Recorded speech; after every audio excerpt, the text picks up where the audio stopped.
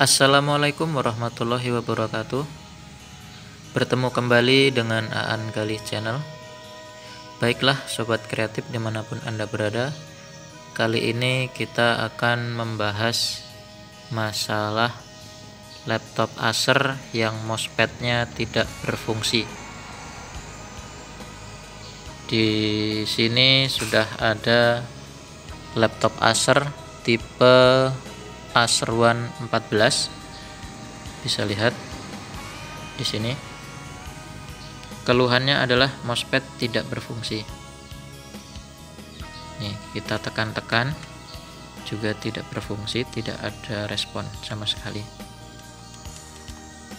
Akan tetapi apabila menggunakan mouse eksternal nah ini berfungsi dengan baik. Tuh diklik pakai mouse.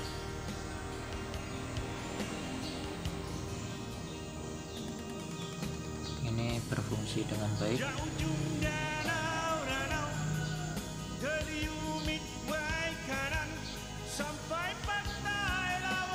Baik.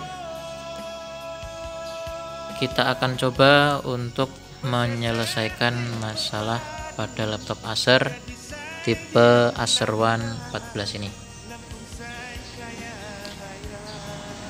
yang akan kita lakukan adalah hmm, kita mencoba mengecek apakah fitur untuk non aktif dari mousepad ini dia bekerja.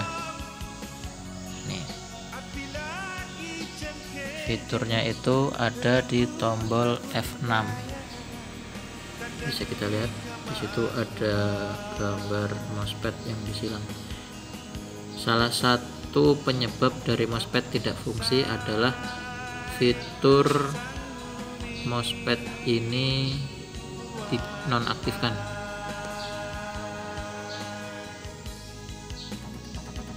Nah, langsung saja kita coba apakah berhasil, saudara-saudara. Caranya adalah untuk uh, menonaktifkan fitur disfungsi dari mousepad adalah kita tekan bareng tombol Fn dan F6 kita coba. Bareng saudara-saudara kemudian kita coba kembali mousepadnya apakah sudah bisa berfungsi kembali? Nah berhasil saudara-saudara. Kita coba gerak-gerakkan mousepadnya. Dia mau bergerak dengan baik. Kemudian kita coba klik kanannya.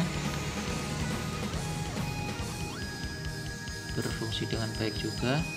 Kemudian kita coba klik kirinya. Nah sudah normal kembali untuk mousepadnya saudara-saudara.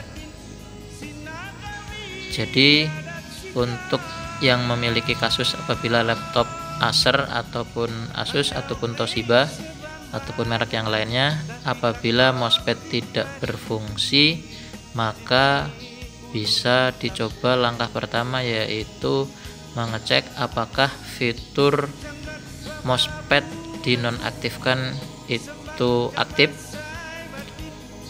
Bisa dicoba seperti tadi caranya yaitu dengan menekan tombol Fn dan F6 untuk di laptop-laptop yang lain mungkin bisa untuk tombol F nya mungkin berbeda. Yang penting kita coba cari logo atau simbol mousepad non aktif pasti dibarengi dua tombol. Biasanya Fn atau uh, eh, Fn dibarengi dengan tombol F yang lain atau tombol yang lain. Kebetulan untuk tipe Acer ini ada di F6 jadi kita tekan tombol Fn plus F6 nah untuk kasus yang apabila ternyata di mousepad nonaktifnya sudah di non uh, sudah dinonaktifkan apabila ditekan tombol Fn dan F6 ini masih juga mousepad tidak berfungsi langkah kedua yaitu memastikan apakah keyboard dalam kondisi baik-baik saja. Artinya semua tombol berfungsi dengan baik.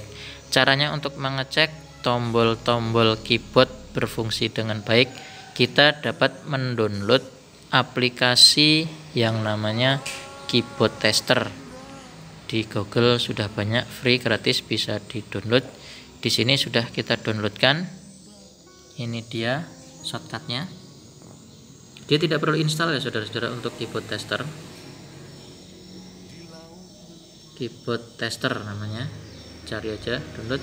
Nah kita akan praktekkan bagaimana keyboard tester ini bekerja. Sudah tertampil di situ keyboard QWERTY seperti tampilan keyboard pada umumnya. Kita tes satu-satu tombol keyboard yang ada di laptop atau mon komputer begini. Nah, apabila muncul dipencet muncul warna merah dan berubah menjadi hijau itu artinya normal. Apabila dia tidak respon itu artinya tidak normal. Apabila dia uh, tertekan terus itu warnanya akan berupa warna merah selalu. Nah kalau begini ini artinya keyboard ada yang tertekan terus atau konslet. Kita coba cek satu-satu untuk keyboard laptop ini apakah berfungsi dengan baik semua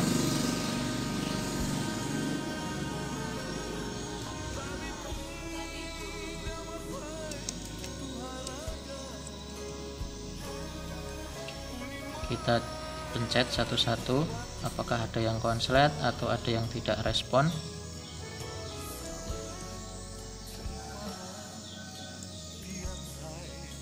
Nah kebetulan di sini keyboardnya normal semua karena laptop ini sebelumnya baru saja ganti keyboard yang baru. Jadi